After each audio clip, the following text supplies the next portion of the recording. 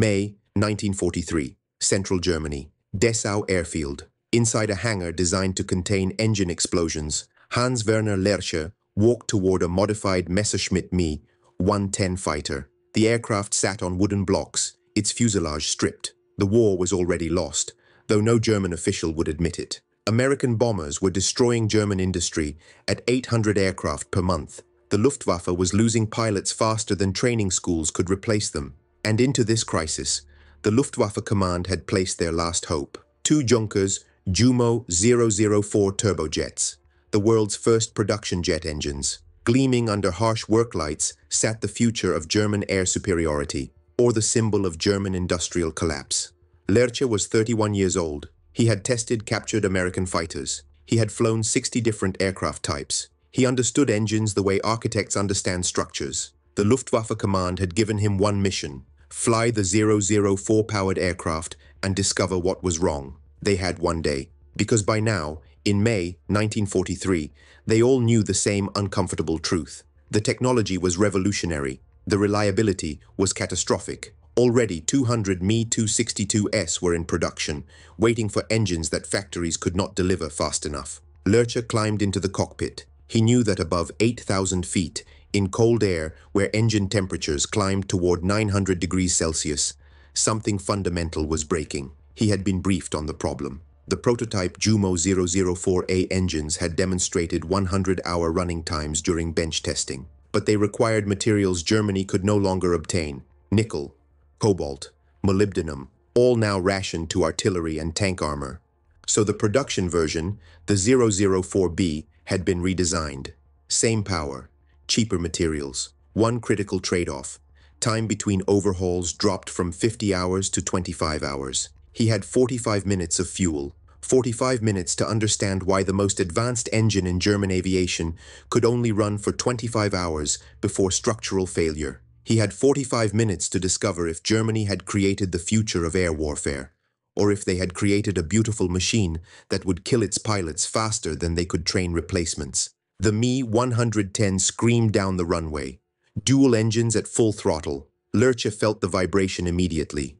Not the normal vibration of a piston engine, Something different, something cascading through the airframe like an invisible wave. The Jumo 004 had a problem that no one in the Luftwaffe wanted to admit. It was disintegrating while running. The 004 was designed by Dr. Anselm Franz at Junkers, a genius engineer who had created something technically revolutionary, an eight-stage axial flow compressor, a single-stage turbine, fuel injectors that could atomize kerosene into a combustion chamber running at temperatures that would have melted conventional aircraft engines. But the cost of this revolution was measured in hours, not hundreds of hours, 25 hours. That was the official time between overhauls, the time at which turbine blades began to fail. Lerche banked left, climbing toward 15,000 feet. The vibration intensified. He could feel it in the control stick, a flutter, a hesitation. The compressor blades were responding to resonance frequencies in ways the engineers hadn't anticipated. The German engineers had made a fatal calculation. When they redesigned the 004B for mass production, they had to eliminate the scarce materials. The original prototype had used nickel, cobalt, and molybdenum, strategic materials that Germany no longer had, so they switched to mild steel, to chromadur alloy developed by Krupp, to folded and welded turbine blades cooled by compressed air bled from the compressor itself. The math was elegant. The metallurgy was clever. The reliability was approaching zero. At 18,000 feet, Lerche leveled off. The vibration was now a constant tremor running through the aircraft. He watched the engine temperature gauge. Needle climbing, 850 degrees Celsius, 870. The turbine blades were being cooled by compressed air that was itself being heated to extreme temperatures. It was a system balanced on the edge of catastrophic failure, and Lerche could feel that edge in every movement of the control stick. The Jumo 004 design was revolutionary because of its simplicity, an eight-stage axial flow compressor that could take air at 400 miles per hour and compress it to four times atmospheric pressure in a space the size of a man's torso. The compressed air entered a combustion chamber where atomized fuel was ignited at temperatures reaching 900 degrees Celsius. The exhaust drove a single-stage turbine that was connected by a common shaft back to the compressor, creating a self-sustaining cycle. The efficiency was remarkable. The power output was unprecedented. The structural stress was approaching the material limits of every component. He engaged his timer. He needed to understand the problem during flight, while the engine was under stress, while the resonance patterns were active. The American approach was different. They had designed their Allison engines with a time between overhauls of 500 hours. Not all at once. They could maintain an engine for months of continuous operations. The German calculation had been inverted. Maximum power, minimum materials cost, maximum speed toward operational collapse. The vibration began to change character. Where it had been a flutter, it became a series of discrete pulses. The turbine blades were entering a feedback loop with the combustion chamber. Each ignition cycle was pushing the blades toward resonance. Each resonance cycle was destabilizing the next ignition. The engineers at Junkers had switched from the original exotic alloys to Chromadur, an alloy developed by Krupp using only 12% chromium, 18% manganese, and 70% iron. These were common metals that Germany could still produce in quantity. But Chromadur was softer than the original nickel-cobalt alloys. It was more susceptible to fatigue. It could not handle cyclic stress the way advanced metallurgy could. Lerche could visualize the physics without seeing the metal. The thin Chromadur blades, welded at the roots, cooled by air that was moving through their roots at speeds approaching 600 miles per hour, beginning to fatigue. Each combustion pulse created a stress wave. Each stress wave created a microfracture. Each microfracture reduced the blade's resistance to the next pulse. It was a cascading failure mechanism. It was not a question of if the blades would fail. It was a question of when. Below him, the German landscape stretched out in spring sunshine. He could see the industrial heartland, the factories that produced these engines. He wondered how many of them were currently running tests like this. How many test pilots were at this exact moment discovering the same fundamental truth? The technology was incredible. The ability to sustain it was measured in hours before blade fracture became inevitable. Lerche maintained altitude, 18,500 feet. The engines were at sustained power now. The vibration had become almost musical, a high-pitched whine that penetrated the entire airframe. He understood what was happening. The turbine blades were oscillating in a resonance pattern that their welded roots could not absorb. Each cycle was causing microfractures in the weld lines. The chromadur metal, strong under steady-state heat, was becoming brittle under cyclic stress. The Americans had understood something about mass production that the Germans were learning too late. You could design revolutionary technology, but if you wanted it to survive beyond the laboratory, you had to give it margins, safety margins, material margins, time margins. The original Jumo 004A had been tested for 100 hours on the bench. It had demonstrated reliability across its complete operating envelope, but it required materials that Germany was rationing to the armaments industry. Nickel from Romania, cobalt from Central Africa, molybdenum from Scandinavia. All were now allocated to weapons production. In 1943, the Luftwaffe Command had faced a choice. They could continue with the 004A, producing perhaps 50 engines per month, using scarce materials that could be spent on artillery or they could approve the 004B redesign, which would allow mass production of 200 to 300 engines per month using common metals. The cost would be measured in durability. The 004A had a time between overhauls of 50 hours. The 004B would have 25 hours. This was not a design flaw. This was an economic calculation. Dr. Anselm Franz and his engineering team had made a heroic effort. They had designed a combustion chamber that used six flame tubes instead of eight, reducing the pressure oscillations that were causing blade resonance. They had introduced a variable geometry exhaust nozzle that could adjust the jet exit area based on engine speed. They had implemented a fuel injector system that was supposed to stabilize the combustion process. All of these innovations had reduced the resonance problem, but they had not eliminated it. In the design specifications, the 004B was rated for 25 to 35 flight hours before structural overhaul became necessary. Lerche began his descent. He had been aloft for 32 minutes.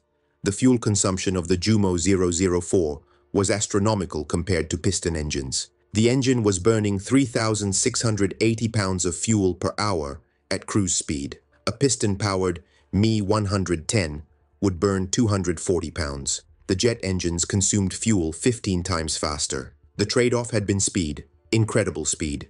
The Me-262 could fly at 540 miles per hour, while a piston-powered fighter struggled to reach 380, but at the cost of fuel capacity. The Me-262 carried 2,470 liters of fuel. A piston-powered fighter carried 300 liters, six times less. This meant range was severely limited. Every combat mission would consume fuel at a rate that would require refueling after just two hours of operation. His port engine temperature was now 885 degrees. The limit was 900 degrees. Beyond that, the chromadur alloy began to lose its hardness. Beyond that, the welded roots could no longer support the centrifugal forces on the spinning rotor. He was approaching the edge of the safe operating envelope, and he still had minutes of flight remaining. The mathematics of the situation was becoming clear. The Jumo 004 was not an engine designed for sustainable operations. It was an engine designed for desperate situations. Maximum performance, minimum durability, perfect for a nation fighting for survival, catastrophic for a nation trying to establish air superiority. The descent to the airfield was the critical phase. Lerche had to maintain engine power.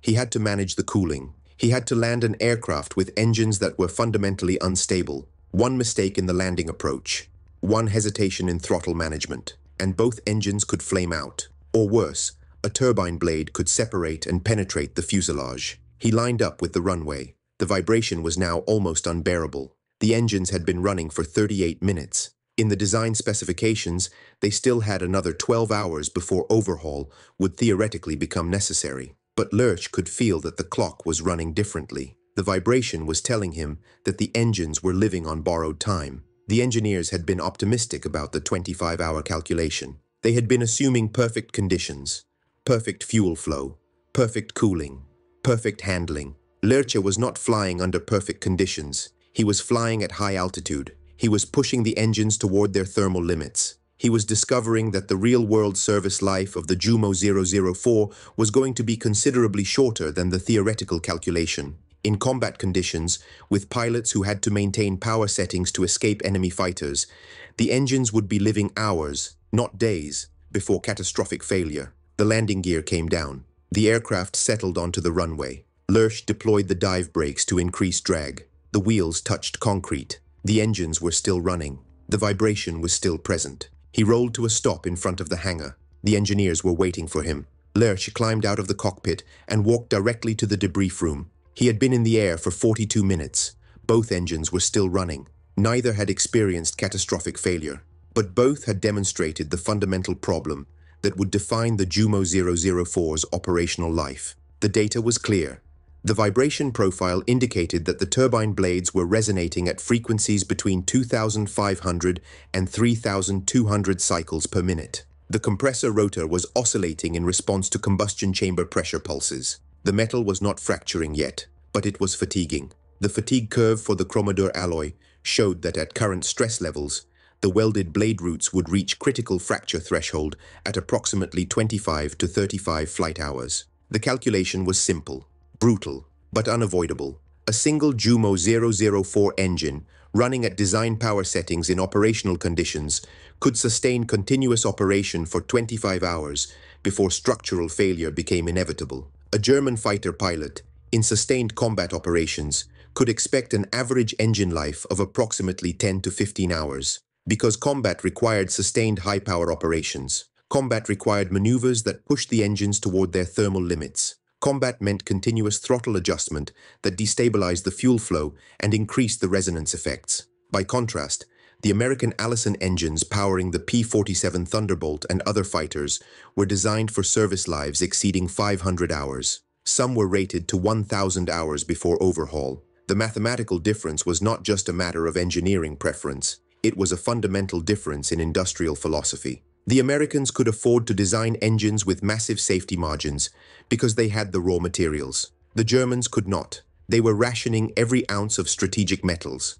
So they designed for minimum weight, minimum materials cost, maximum thrust, maximum failure probability. The contrast was absolute. 25 hours versus 500 hours, a 20 to 1 difference. An American pilot could fly 40 sorties before overhaul became necessary. A German pilot could fly five sorties. The mathematics of industrial production was now the mathematics of air superiority. When Lerche delivered his report, the reaction was silence. The Luftwaffe commanders understood the implication. The Jumo 004 engine represented the future of German aviation, but that future lasted only 25 hours before the turbine blades began to fail. They could continue development. They could pursue better materials. They could attempt to improve the resonance characteristics.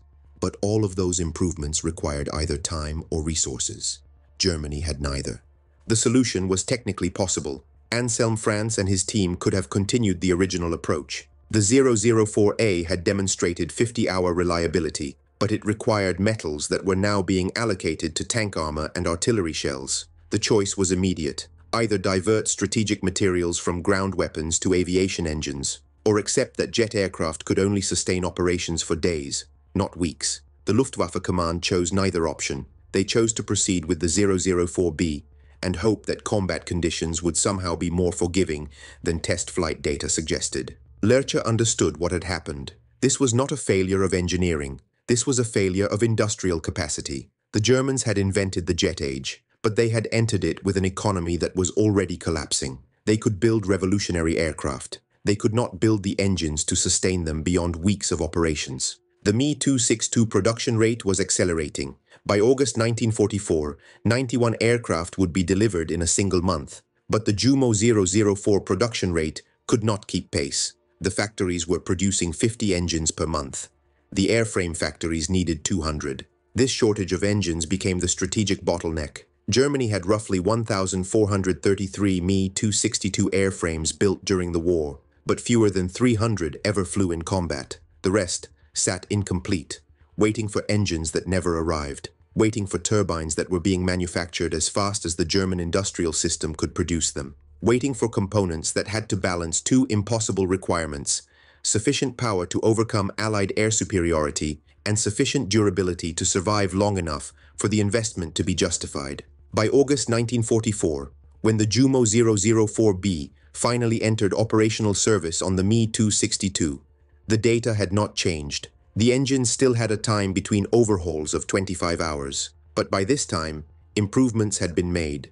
The engines could now sustain 20 to 25 hours consistently. This represented a marginal improvement over the 10-hour average of the earlier production batches. Pilots still had to accept the reality that every flight was pushing their engines toward inevitable failure. The only mitigation was to design maintenance procedures that could complete overhauls quickly, to train mechanics to replace engines and turbines in hours instead of days, to accept that the Jumo 004 was not an engine in the traditional sense. It was a consumable component, an expensive, high-performance consumable that would need replacement after every 25 hours of operation. This was the lesson that Lerche carried back from that May 1943 flight. Revolutionary technology could emerge from scientific genius, but sustaining that technology required industrial resources that Germany simply did not possess. The 25-hour limit was not a failure to be solved. It was a structural reality imposed by the material conditions of the war. Hans Werner Lerche survived the war. He lived until 1993. In his later years, he wrote extensively about his test flight experiences. He never publicly criticized the German engineers or the Luftwaffe command. But the fact remained. The Jumo 004 represented the highest point of German aviation technology, and it was fundamentally limited by industrial constraints that no engineering genius could overcome. The contrast is clear an American Allison engine running 500 hours, a German Jumo 004 running 25 hours. The difference was not German incompetence. The difference was American industrial capacity. By 1943, Germany was running out of the raw materials needed to sustain advanced manufacturing. America was at peak production. The air war that followed was not a contest of pilot skill or aircraft design. It was a contest of industrial mathematics. And on that mathematics, there was only one possible outcome. Thank you for watching. If you enjoyed this story of forgotten engineering decisions in World War II, please like and subscribe. We produce historical documentaries that tell the stories of ordinary people discovering the technological systems that overwhelmed their nations. Your engagement helps us continue bringing these forgotten stories to your audience. Where are you watching from? What other World War II stories would you like us to tell? The stories your history teachers never mentioned. Your comments help us shape future episodes. Thank you for watching Tales of Valor.